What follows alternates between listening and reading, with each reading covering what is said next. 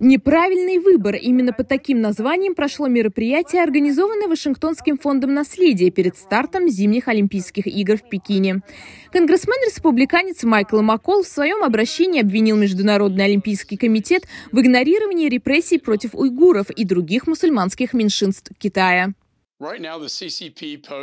Коммунистическая партия Китая вершит одни из самых ужасающих преступлений против человечества. Они враги свободы и демократии. Олимпиада считается самым престижным спортивным событием в мире, но МОК подпортил свою репутацию, дав возможность Китаю провести зимние игры 2022 года.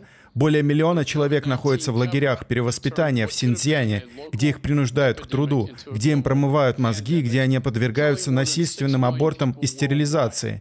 Меня глубоко тревожит то, что Олимпиада будет проходить на фоне действующих концлагерей. По мнению экспертов, решение о дипломатическом бойкоте Олимпиады в Пекине, который США объявили в декабре, было принято слишком поздно, и этой меры недостаточно для борьбы с нарушениями прав человека в Китае. Не менее важно также информировать общественность, включая всех зрителей Олимпиады, о репрессиях со стороны китайских властей.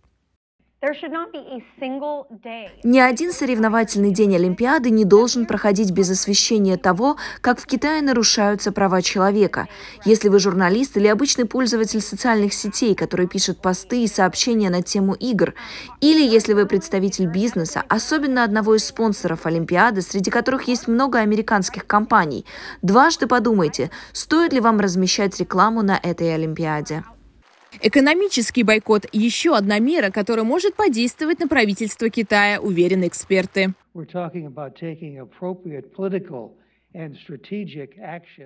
Нужно предпринять грамотные политические и стратегические меры, иначе тоталитарный режим Китая продолжит распространяться по миру. Если хотя бы одна крупная корпорация сможет сделать шаг и сказать, что она не пойдет на поводу ради извлечения финансовой выгоды, то я уверен, многие другие корпорации последуют их примеру.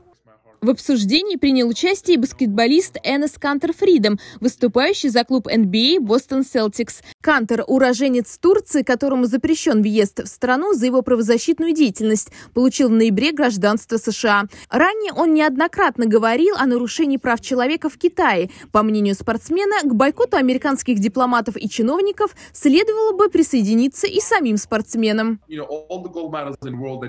Никакие золотые медали никогда не будут важнее важнее ваших моральных принципов и ценностей. Мне кажется, что все спортсмены должны заявить, что не будут участвовать в играх на территории страны, в которой осуществляется геноцид. Спортсмены обладают большим влиянием, они должны им воспользоваться. Многие знаменитости, особенно те, которые заключают рекламные контракты с различными брендами, боятся говорить о Китае, но я не могу молчать, пока моих мусульманских братьев и сестер подвергают пыткам в концлагерях. Наряду с США дипломатический бойкот игр в Пекине объявили ранее Австралия, Великобритания, Канада, Дания и Литва. Карина Бафраджан, Александр Берган. Настоящее время Америка. Вашингтон.